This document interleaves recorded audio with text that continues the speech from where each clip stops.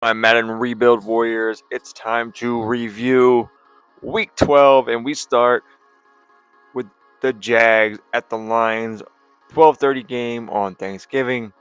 Yes, we had three games to our delight that dropped last Saturday. Let's get into it. The box score: Jacksonville getting it done, outscoring Detroit 11 to 7 in the fourth quarter take a look at the stats. Now, this is gonna be very hard for me because I have uh, like a broken finger. Hmm, how am I gonna do this?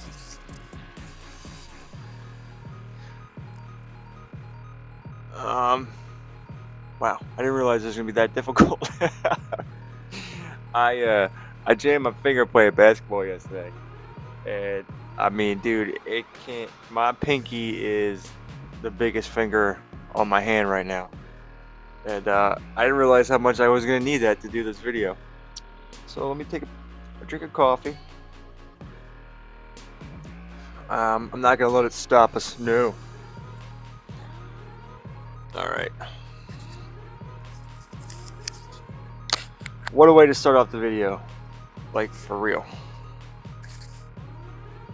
Alright, we'll, we'll do it this way. Alright, so the Jags got it done. Trevor Lawrence.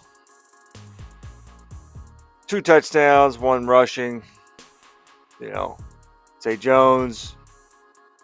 Isn't that? No, he was on. Um, was Zay Jones wasn't on Detroit, was he, a couple years ago? I, I can't remember. I know he was on the Raiders. But don't matter. Jamo, two for 72 and one. LaPorta gets a touchdown. Jahmyr Gibbs, 100 yards and a touchdown. I mean, not a bad game for the Jags. Like, not a lot of turnovers. Just um, one of those games that didn't go their way. So. I mean, I really wasn't looking forward to that game to begin with. It wasn't uh, wasn't great. Um, but here, let's go to the second game, the 415 game. Uh, I believe I called this one. I said all these NFC North teams were going to, or AFC North teams were going to win.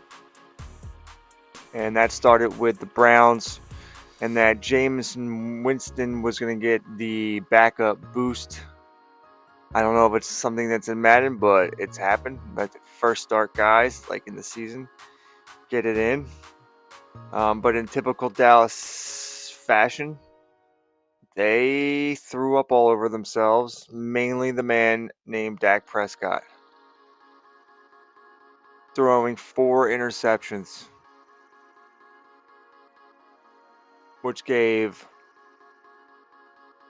the Browns short field Pollard still got 20 for 137. Brandin Cooks. Lamb got his touchdown. Just not enough. Yeah, we, we called that one. Not much to go over there. Uh, to me, that was a boring game. I don't. Just not something I'm looking forward to. Because I was looking forward to this game here. Two franchise focused teams got the prime time 8 p.m. Thanksgiving Thursday night game, and our Chargers are charging. Justin Herbert is he's on a roll right now. It's what he had four, and four in a rushing touchdown. So that's nine. Now he has three passing touchdowns. Excuse me. He's gone over like 300, 400 yards in the last three games. He is cooking.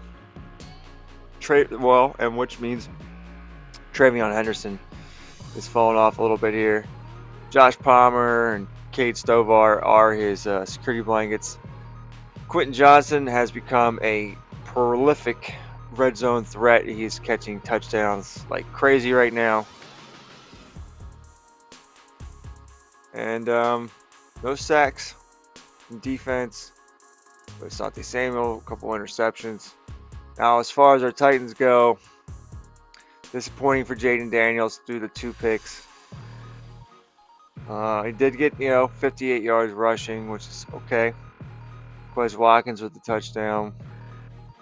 Uh, just, you know, we have two teams that we control battling against each other, so uh, I I wouldn't really expect a uh, a huge, uh, you know, a huge scoring game. Uh, we we're training our defenses to stop what the other team does. So this was a close one, and uh, Chargers uh, pulled it out at the end. And you know, Titans are still good, man. Uh, they're dangerous. Are they Colts dangerous? Uh, I think the Colts got the division locked up, but right now Titans are in the playoffs, I believe. And speaking of the playoffs and stats, we'll be doing that in another video uh, this week. You will see that tomorrow after this one drops. Now here's the game everyone was looking forward to, and it was crazy. Comeback win here for the Ravens and Lamar. 366 yards passing, one touchdown, another 150 on the ground, and two. I mean, that would know, Lamar's what QB one, you know, in DraftKings probably this week. Wicks, Wicks coming on a little bit. Mark Andrews 10 for 184. Wow. Some couple tight ends smelling that Kelce's no longer playing right, you know, right now with his injury. Um,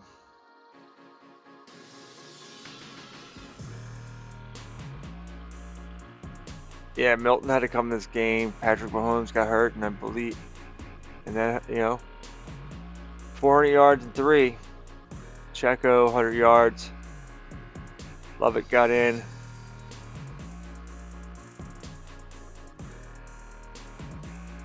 Chiefs had it.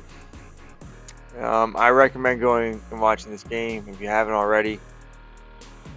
It, it went into overtime, and Baltimore won it. You know, we had to make we had to make some uh, editing decisions to keep the, the video to an hour, so it, you know it ended a certain way. But I re recommend that one. I mean, if you weren't watching that one already, I don't know what your problem is, man. What's your problem?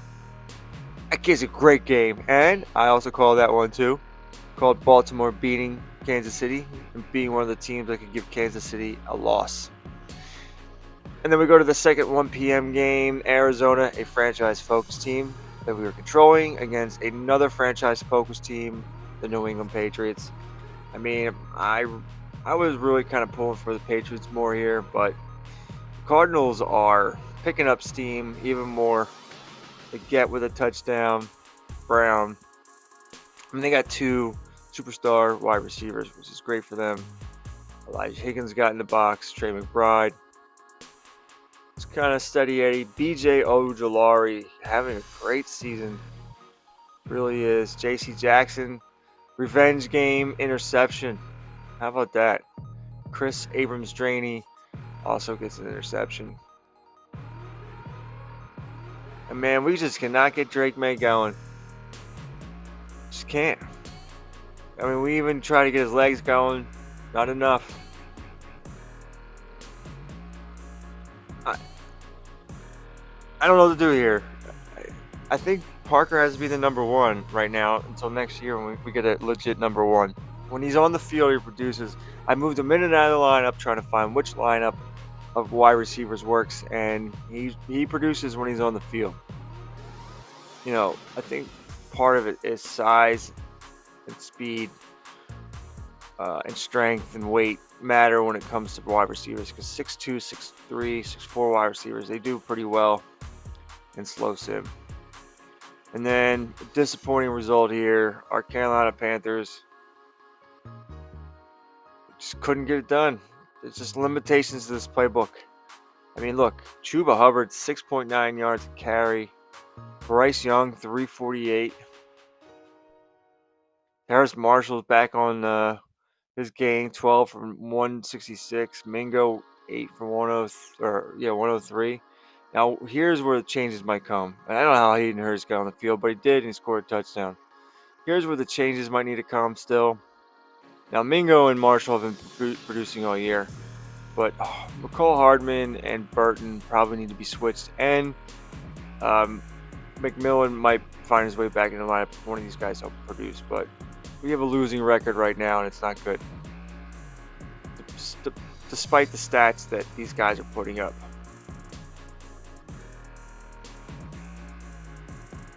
I mean, Will Levis wasn't great, but Juwan Johnson just was cutting our defense like crazy. So, got to clean some things up there, but I, I, they're they're pretty much out of it. The Falcons getting a win. I mean, this game is really uh, was a non-factor. It didn't really matter. Two losing franchises, um, not focus teams, but just two franchises that are circling the drain right now, waiting for the season to end. So, I mean, the score is indicative of what we thought of this matchup here. Now, here's a team we also guarantee, well, not guarantee, but we knew needed a win, and they got the win. Joe Burrow, 331 of them, two. Mixon, four and a half yards to carry. Of Dunes really coming on. Um, yeah, it's amazing what Dunes is doing right now. He's he's one of the hottest rookie wide receivers. Absolutely. Defense is balling. Uh, Logan Wilson getting defensive player of the week for the NFC. Good for him. Our defense is playing very, very well. So another another outcome we call. We called that all three NFC North teams would win, and they would. And the only reason why the fourth couldn't is because they were playing one of ours. And then another satisfactory win here that we needed. Chicago Bears leading the NFC North. Get the win. Caleb Williams, not the greatest. Not great. J.K. Dobbins, 27 carries for two and a half yards. Yikes. Like, they're feeding the ball, and then who? Someone got hurt. I forget who it was. Rashid he got hurt again. That's right. Uh, but ever since Cole Kmet came back, they're trying to just force him the ball, man. We don't really need him. Not with the wide receivers we have. It's like Madden's trying to get his catch catches and yards up. But good one there for the Bears, our Bears. And we also call this one Bills in a landslide, blowing them out. Not much to really talk about here. But, you know, they get it done. It gets a bad team.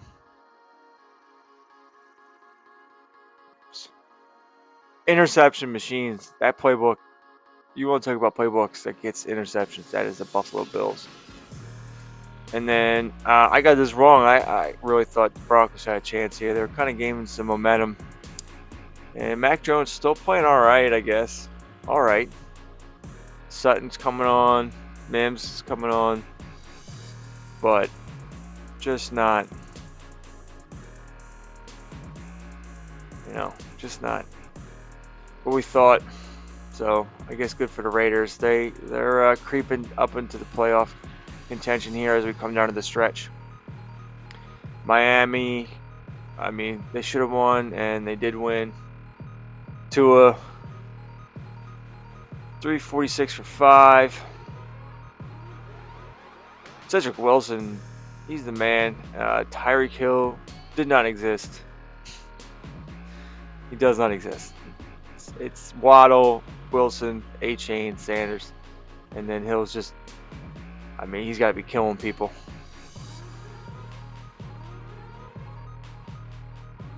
But Miami's, you know, they're really good, man. I we call this, but we thought that the Rams would probably win bigger than this. Stafford's still throwing for well over 300 yards a game. He's got so many weapons here. Crazy. AJ Brown, Devonta Smith, they're starting to come around a little bit. But really just not the Eagles here. It's good for them that they lost. They're they're they're, they're they need to worry about um, draft draft position. And then the 49ers, they what they had a shutout last week, and now they only gave up three points to um, JJ McCarthy and, and, the Buccaneers are really struggling without Rachaad White. Purdy's 300 yards, also got a rushing touchdown. Aiyuk, Ronnie Bell, Gray, and Bell filling in for the uh, injured Deebo Samuel's getting it done. Yeah. Marshawn Lloyd is not Rachaad White. So, there you go. That was Sunday Night Football. And they're coming here to Monday Night Football. The Colts talk about machines. Anthony Richardson in the MVP com- conversation. Jonathan Wilson. I mean, that's so tough to stop right there. Rushing the ball over 200 yards. Josh Downs getting it done. Yeah, what a what a what a start here. Not, well, can't even say start because we're 12 games into the season, 12 weeks. But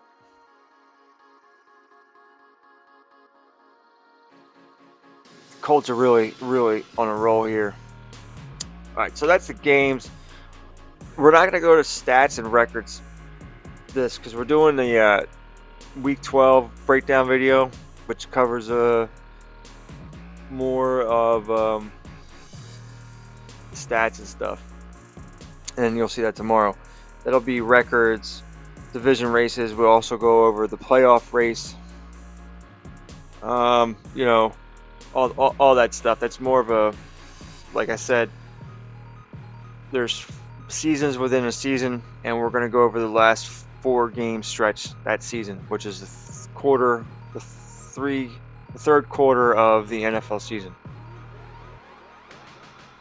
We'll break down who was the best team in uh, week nine through 12 and uh, get ready for the playoff race because uh, we take an early look at seedings look at playoff MVP race, and stat, you know, all that stuff. That'll all be the next video. So this is just looking at last week, week 12, looking at the injuries, and looking ahead to week 13.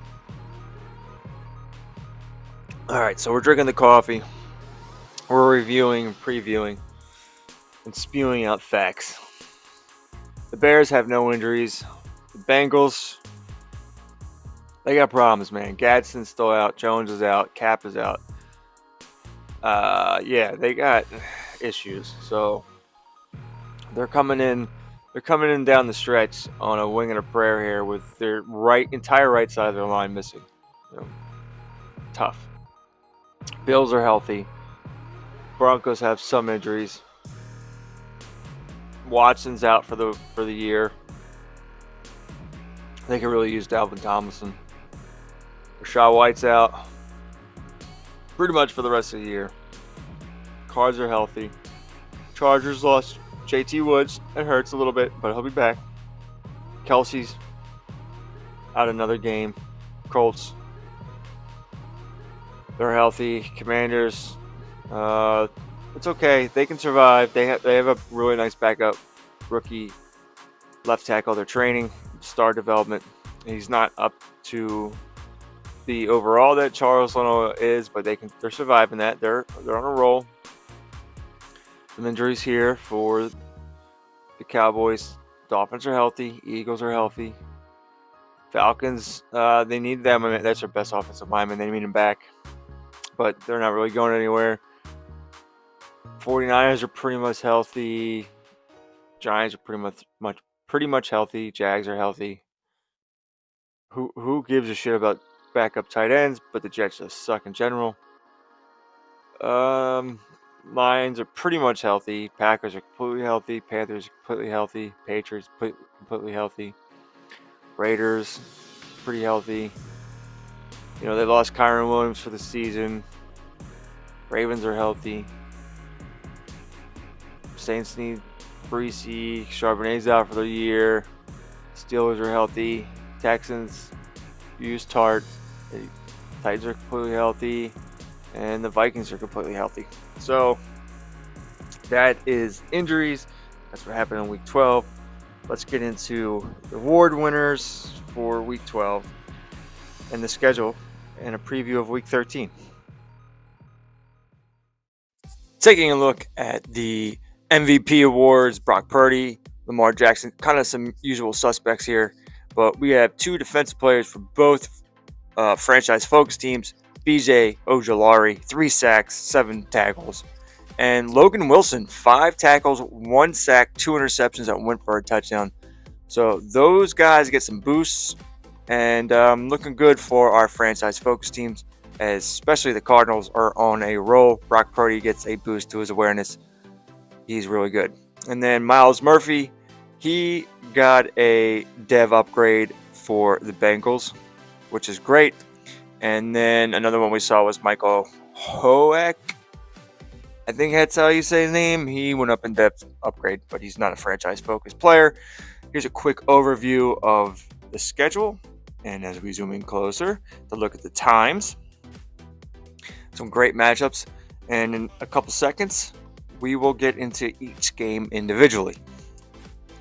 And we start with Thursday night football. The Chiefs travel to Vegas. Vegas is one of those teams at six and six. They're just on the outside of uh, that last wild card spot. As we have mentioned before, the wild card uh, in the AFC is about the tightest race. In the NFC, there's really no race I see right now for that last wild card spot. But you know, five games go, there are always things that can happen because we're entering the fourth season of the 2024 season. Uh, I like the Chiefs in that game, by the way. Uh, then we have a game that I don't think anyone's interested in, but I'm going to get take Pitt here because Mike Tomlin's always been a 500 ish uh, coach. His teams fight, and uh, I and the Jets suck.